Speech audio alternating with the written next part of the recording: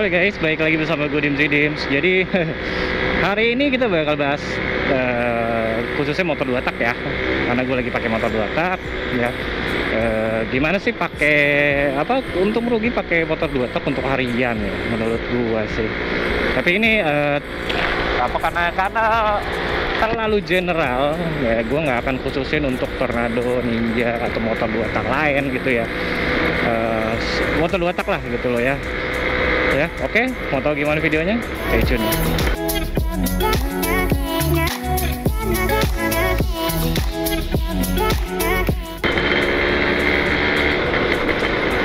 Nah, kayak tadi gue bilang di depan, kita bakal hari ini bakal ngomongin tentang uh, pemakaian harian buat motor dua tak lah gitu loh ya.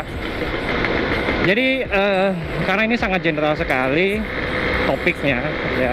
Kalau teman-teman punya anggapan lain atau uh, pendapat lain ya nggak masalah. Monggo monggo aja di share di kolom komentar. Nanti gue bakal uh, bahas juga ya. Gitu. Nah karena uh, masih banyak perdebatan gitu loh. Maksudnya pakai dua tak eh, empat tak lebih irit eh, dua tak lebih irit segala macam ya gitu.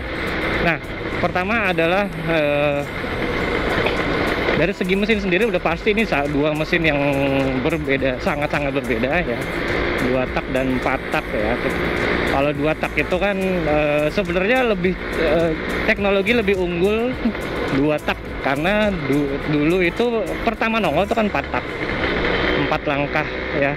Disempurnakan menjadi dua langkah ya. Tapi tidak sempurna sempurna amat sih karena dia uh, secara emisi gas buang jauh di bawahnya empat tak gitu ya. Kalau performa sendiri ya udah pastilah nanti kita bakal bahas juga ya. Jadi uh, pakai motor dua tak untuk harian gimana? Pertama adalah kita ngomongin tentang mesinnya ya udah pasti mesinnya bertenaga lebih bertenaga dari motor uh, batak ya. Karena kenapa? Siklus kenapa dibenarkan dua langkah? Jadi dua langkah naik turun piston dia sudah dapat satu tenaga. Berbeda dengan empat tak di mana harus ada uh, hisap kompresi usaha buang empat tak ya. Jadi harus empat langkah lah gitu loh. Nah kalau dua tak itu sebenarnya ada lima langkah ya karena dia dua kali kompresi ya. Pertama hisap hisap kompresi di karter kompresi karter ditransfer ke ruang bakar di blok ya. Ruang bakar di blok dikompresi lagi itu udah tiga. Buang lalu scavenging ya. Scavenging itu adalah uh, bilas ya bilasnya. Jadi di scavenging ini dia bertindak seperti klep buang ya. Jadi dia karena kelapotnya apa namanya ada perutnya gitu jadi dia beresonansi ada hambatan di situ yang bisa menahan gas buang sebentar ya. Nah, itu namanya scavenging. Jadi sebenarnya udah ada ada lima langkah di dalam dua tak ya. Kalau ngomongin tentang mesin ya seperti itu. Ngomongin perawatan ya. Sebenarnya sih lebih gampang perawatan dua tak ya. Benah benahin segala macam nah itulah karena buka bloknya aja buka bloknya aja gampang banget. Buka buka turun mesinnya gampang banget deh gitu loh ya. Tadi kalau ada perbaikan yang harus uh, overhaul itu ya bisa dikerjakan dalam waktu singkat ya. Jadi kalau gue bilang sih dalam segi perawatan maintenance kalau udah rusak ya gitu loh. Jauh lebih jauh lebih ya gampang itu dua tak dibanding empat tak buka bloknya aja harus uh, top dulu uh, ini dulu itu dulu uh, kalau klepnya baru harus skir dulu inilah itulah. Ya begitu deh ya maintenance ya. Dia mahalnya di mana? Dalam segi cost di oli samping itu aja udah. Jadi kita harus apa invest bukan invest itu adalah satu wajib ada ya di, di dalam motor dua tak pakai oli samping. Ya karena itu oli samping itu yang ikut terbakar ikut ikut ke dalam ruang bakar itu dia melumasi semua yang ada di dalam mesin. Ya. Wajib. Nah oli samping ini bermacam-macam. Jadi ada yang dari murah banget sampai mahal banget. Ada ya. Dia ada sertifikasi eh, FA, FB, FC, FD ya nanti bakal kita ngomongin di videonya terpisah ya. Ya kalau mau mau mesinnya awet segala macam tidak berasap ya pakainya yang mahal-mahal yang sertifikasi FC lah. Kalau enggak ya, ya pakai aja yang 20 ribuan cukup. Yang penting dia terlumasi dengan baik. Mau pakai oli drum buat dibakar juga bisa. Nggak masalah kalau dua tak sih. Yang penting dia uh, ada apa namanya ada buat lumasin aja gitu ya dari dari lalu dari segi konsumsi bahan bakar kita nggak usah nanya lah ya. Nggak usah ditanyakan lah ya. Dua tak itu jauh lebih boros dibandingkan dengan eh, empat tak kecuali cc nya sangat kecil 50 cc dua tak gitu. Nah itu kemungkinan bisa eh, setara dengan 100 cc ya 110 cc nya empat tak lah gitu ya. Karena dia kubikasinya kecil. Si apa namanya konsumsi bahan bakar itu karena memang ya dua langkah sudah ada power gitu ya. Jadi bisa dua kali lebih boros gitu kan. Karena empat tak satu siklus aja yang hisap bakar eh, hisap usaha. Selebihnya buang. Kalau ini kan eh, hisap hisap buang hisap buang hisap buang gitu ya. Nah kalau misalnya eh, maintenance sudah konsumsi bensin udah performa gimana? Nah ini ini masih agak tabu ya karena uh, bukan tabu rancu ya. Karena kenapa? Beberapa mesin uh, dua tak tidak memang tidak dikhususkan untuk performa tapi standarnya uh, tergantung dari desain pabrikan juga. Karena kenapa? Tornado GX sama Tornado GS itu uh, beda di knalpot saja bedanya sampai uh, 3 horsepower di apa cc-nya memang lebih lebih gede ya 10 cc tapi beda 10 cc doang bedanya 3 horsepower. Nah itu. Ya performa. Jadi uh, tapi ada juga yang satu apa empat tak yang memang lebih kencang daripada uh, lebih berperforma lah daripada dua tak standarnya. Nah, ya.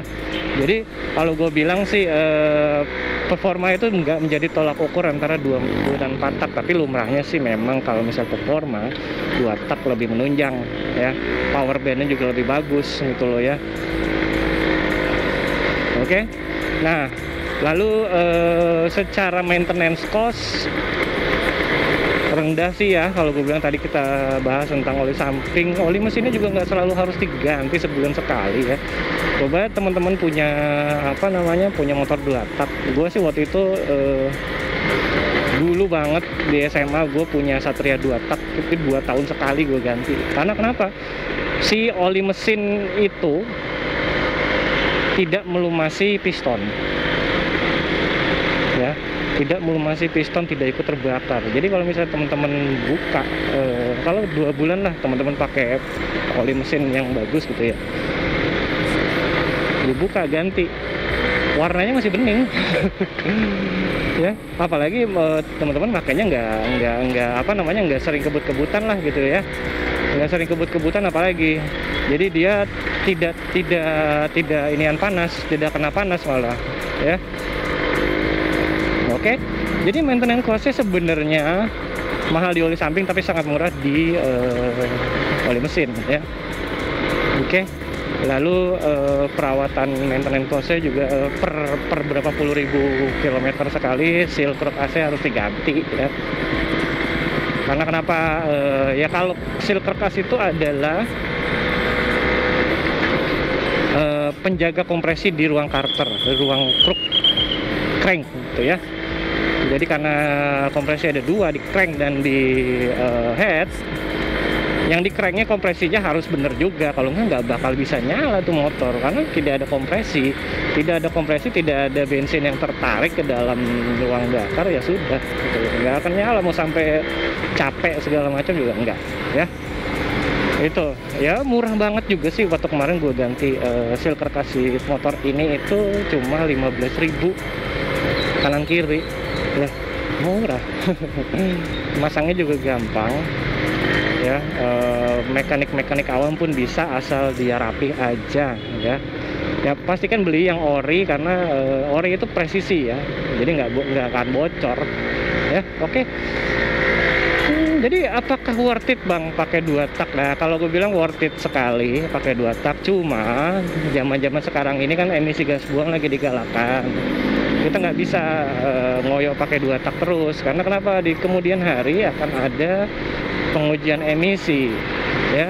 Di mana dua tak itu tidak lulus. Uh, yang ya paling bagus itu emisinya adalah ranking uh, 2000 yang ada katalik converter dan uh, Ninja Ninja. Kawasaki Ninja yang pakai katalik converter nah itu dia lolos Euro 2 sedangkan di Indonesia ini Euro 3 lolosnya. Harus minimal ya di Eropa sana atau di India mau Euro 5 Euro uh, mungkin sampai Euro 6 sekarang ya. Nah itu sih.